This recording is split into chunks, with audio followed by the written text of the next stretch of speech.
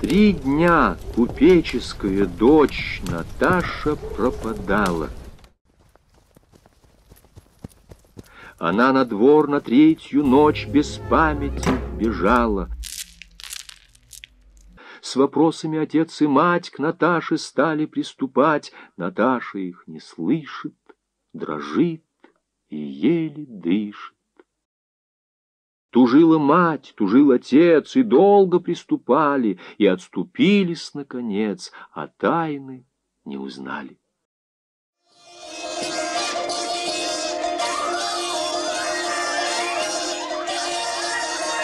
Наташа стала как была, опять румяна, весела, опять пошла с сестрами сидеть за воротами. Раз у Тесовых у ворот с подружками своими сидела девица, и вот промчалась перед ними лихая тройка с молодцом, конями, крытыми ковром, в санях он стоя правит и гонит всех и давит. Он, поравнявшись, поглядел, Наташа поглядела, он вихрем мимо пролетел, Наташа помертвела. Стремглав домой она бежит, он, он узнал. Говорит. Он, точно он, держите, друзья мои, спасите. Печально слушает семья, качая головою, отец ей. Милая моя, откройся предо мною, обидел кто тебя, скажи, хоть только след нам укажи. Наташа плачет снова и более ни слова. На утро сваха к ним на двор нежданная приходит, Наташу хвалит, разговор с отцом ее заводит.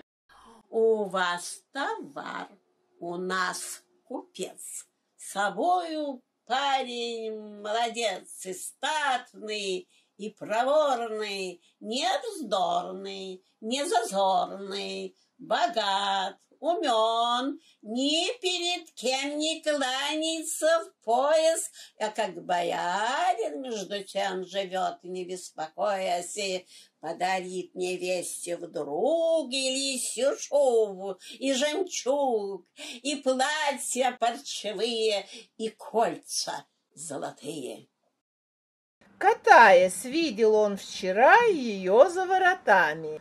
Не по рукам ли, да со двора, да в церковь с образами? Она сидит за пирогом, да речь ведет обиняком, а бедная невеста себе не видит места. Согласен, говорит отец. Ступай благополучно, моя Наташа, под венец. Одной светелке скучно. Не век деветься и вековать, не век касатки распевать. Пора гнездо устроить, чтоб дедушек покоить.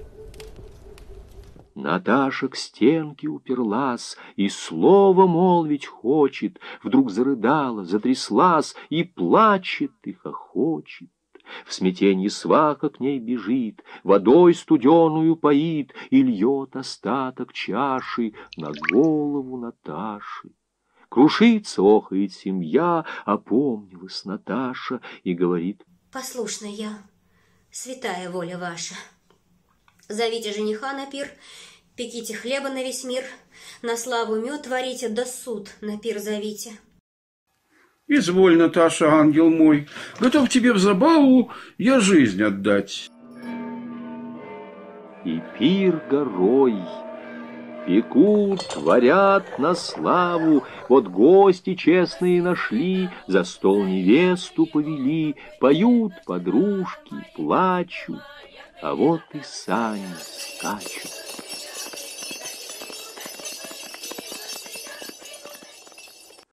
Вот и жених, и все за стол, звенят, гремят стаканы, за здравный ковш кругом пошел, все шумно, гости пьяны,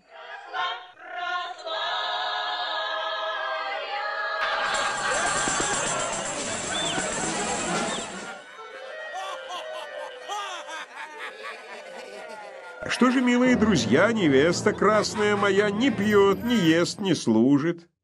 О чем невеста тужит? Невеста жениху в ответ. Откройся на удачу.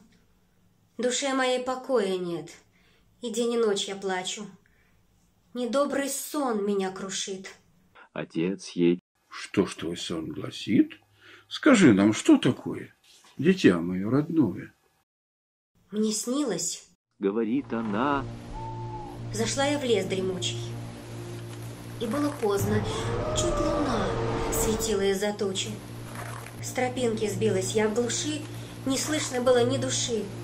И сосны лишь до ели вершинами шумели. И вдруг, как будто наяву, изба передо мной.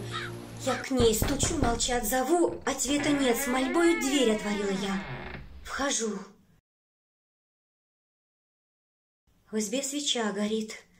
Гляжу, везде сребро да злато, все светло и богато. А чем же худ, скажи, твой сон? Знать, жить тебе богато? Постой, сударь, не кончен он. На серебро, на злато, на сук, на коврики, парчу, на новгородскую камчу я молча любовалась, да диву дивовалась. Вдруг слышу крик и конский топ. Подъехали к крылечку. Я поскорее дверью хлоп и спряталась за печку. Вот слышу много голосов. Взошли двенадцать молодцов, и с ними голубица, красавица-девица. Зашли толпой, не поклонясь, икон не замечая. За стол садятся, не молясь, и шапок не снимая. На первом месте брат большой, по правую руку брат меньшой, по леву голубица, красавица-девица. Крик, хохот, песни, шум и звон, разгульное похмелье, чем же худ, скажи, твой сон? Вещает он веселье. Постой, сударь, не кончен он. Идет похмелье, гром и звон, пир весело бушует, лишь девица горюет. Сидит, молчит, не ест, не пьет и током слезы точит. А старший брат свой нож берет, присвистывая точит, глядит на девицу красу и вдруг хватает за косу, злодей девицу губит, ей правую руку рубит. Ну, это, говорит жених, прямая небылица, но не тужи, твой сон не лих. Поверь, душа девица. Она глядит ему в лицо. А это с чьей руки кольцо? Вдруг молвила невеста, и все привстали с места. Кольцо катится и звенит. Жених дрожит бледнее, смутились гости. Суд гласит, держи, вязать злодея. Злодей окован, облечен и скоро смертью казнен. Прославилась Наташа, и вся тут песня наша.